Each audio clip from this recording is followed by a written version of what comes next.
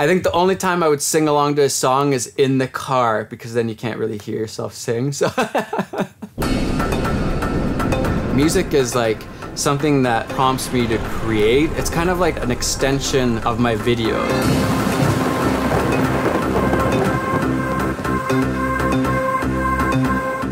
I'm Matti Haapoja. I'm a filmmaker and YouTuber. The things that are going on in my life, I seek out the music to fit that, or you know, what I'm feeling, I seek out that music.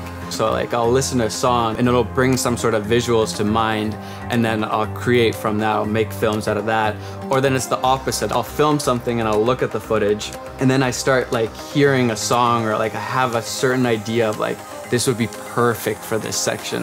And then I'll kind of seek out a song and then once I find it, it's like, it's like the perfect, yeah, it's like an extension of my videos.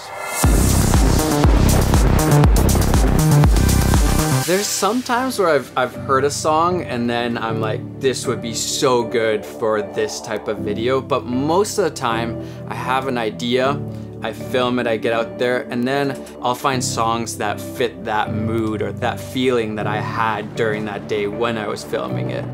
I think for me, some of the strongest music memories, which is kind of weird and funny, is uh, when I got my first CD player and I didn't have any CDs myself. So I went into like my parents' collection of random CDs. And I think what I came out with was ABBA.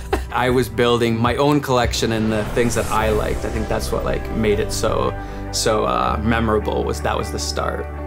When I started in this crazy YouTube world, I was just pumping out videos all the time. So I need a massive amount of music.